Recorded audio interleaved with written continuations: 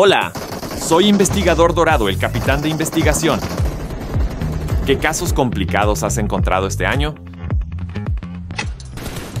Tomemos a este jugador como ejemplo. ¡Hey! Hay enemigos cerca. ¿Los eliminamos juntos? No. Contigo, no acertaste ningún tiro. Siquiera sabes cómo jugar. Si bien la reacción del compañero es entendible, según la perspectiva y los datos disponibles, las acciones del jugador son normales y no hay evidencia de comportamiento ilegal, como el uso de un bot de mira.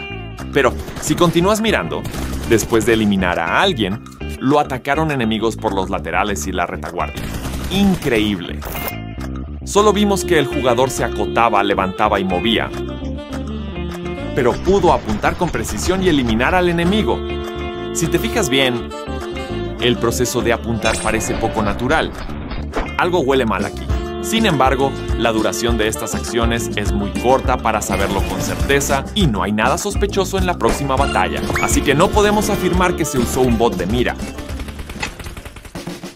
En algunos casos que los investigadores analizan, luego de haber analizado varios factores, algunos no se consideran infracciones y otros son muy cortos, que no pueden considerarse como evidencia de una infracción.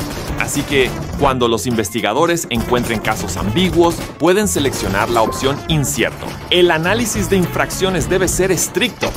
Gracias a nuestros tutoriales, creo que los investigadores ya tienen suficiente experiencia Así que veamos si hay infracciones en este caso.